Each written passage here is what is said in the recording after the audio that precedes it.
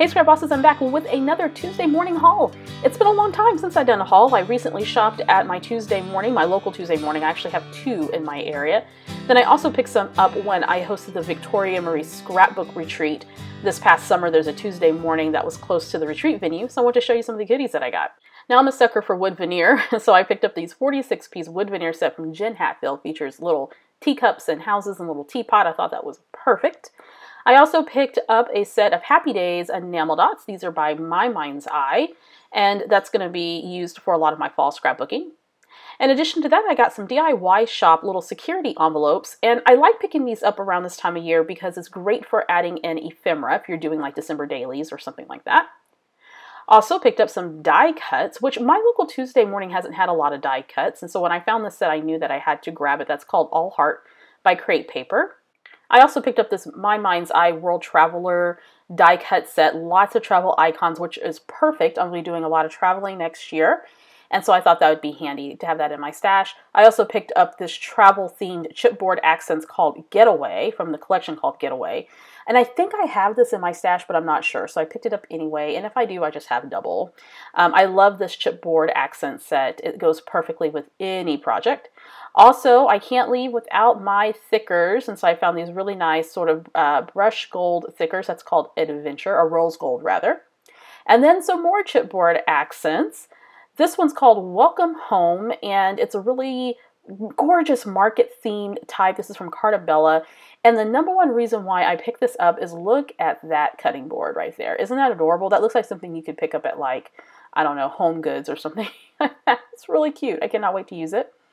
Also picked up this I'd Rather Be Crafting by Lori Whitlock. I love her designs. I do have, I want to say I do have the scrapbook collection, but not these chipboard pieces. And so I'm glad that I picked those up. Lots of really fun icons, all about crafting, a little sewing machine and dress form, a typewriter, all those good things. That's going to go great with all of my layouts about crafting.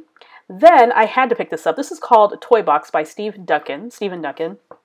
And when I saw this, it immediately reminded me of Disney's Toy Story. And next year, we're going to Disney World for our second trip to Disney World, and we'll get to see Toy Story Land, which wasn't open the first time we went. It opened after we left the park. And I thought this is going to be perfect for my Disney scrapbooking all about Toy Story. So I had to pick that up. Then, as luck would have it, right behind that toy box chipboard accent set was this practically perfect set. And I've been eyeballing this for some time, and I've been meaning to buy the entire collection, never got around to it. And look at that, in the theme of Mary Poppins. So excited. So, I do have a Disney story where we met Mary Poppins at one of the character breakfast experiences that my daughter and I had at 1900 Park Fare in the Grand Floridian. Uh, hotel, the resort. So if you're ever in Disney World, make sure you check that out, and that's going to be perfect to use for that story. All right, so I did pick up some stamps, and my Tuesday morning has a lot of stamps. This one's called Distressed Textures, and I love this because it takes a lot of the work out of trying to create a distressed background or some kind of distressed look on a project. So it has four stamps with different texture elements on it that I can't wait to use. I also picked up this I Heart I Heart Stars stamp. That's kind of hard to say. And I thought this would be perfect on some cards that I want to make for the holiday season. Then I have the sentiment stamp because you can't go wrong with having a bunch of sentiment stamps, eh, particularly if you are a card maker. Um, I like to have them in different designs and text styles. Next, I picked up these glitter die cuts from Pink Paisley, and I mainly picked them up to go with my Disney scrapbooking, but of course I can use them for others. So there's Memories, Family, and Believe. Those are lovely, and of course I like all things glittery. Moving on to some seasonal items.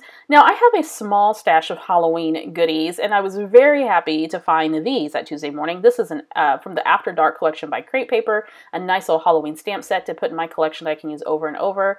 I also grabbed some stickers from Pebbles, lots of really fun icons in this one. Um, more on the spooky side, not so much cutesy, but definitely going to use these. I like to have some variation and some options for my holiday scrapbooking because I may do more than just doing 12 by 12 or 8.5 by 11 layouts. I'm thinking about doing a traveler's notebook for the month of October, so I want to theme that all Halloween theme. So this will work perfect for that. Next up, I purchased some of these stickers, which are all Halloween themed. It's called Spooky. Pretty sure that I have this in my thickers collection already. I really need to keep inventory of what I have because I buy lots of doubles and triples of uh, thicker sets. I can't get enough. This is a gold sort of foil type of font here. I think that's what that is. Beautiful nonetheless. I cannot wait to use it.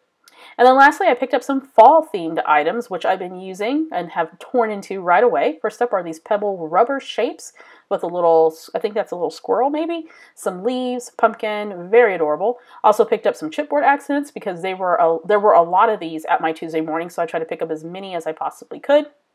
All fall themed there for this set. Love it. Lots of little icons there, the little fox and the acorn, and oh, just adorable.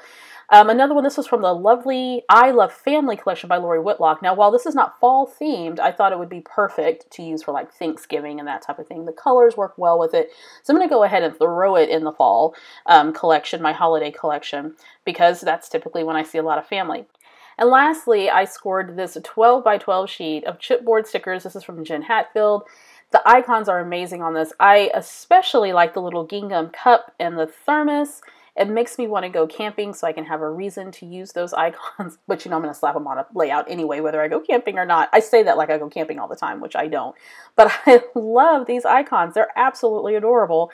And I'm glad that I found it. I would say that this is probably my favorite thing that I picked up recently, and I cannot wait to use it.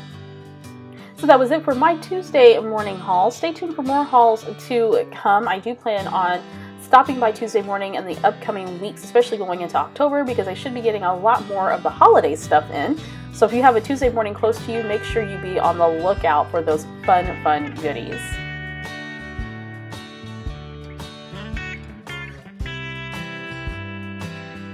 Hey friends, before you go, make sure you subscribe to this YouTube channel. When you do, click the bell indicator. That way you'll know each and every time a new video is posted.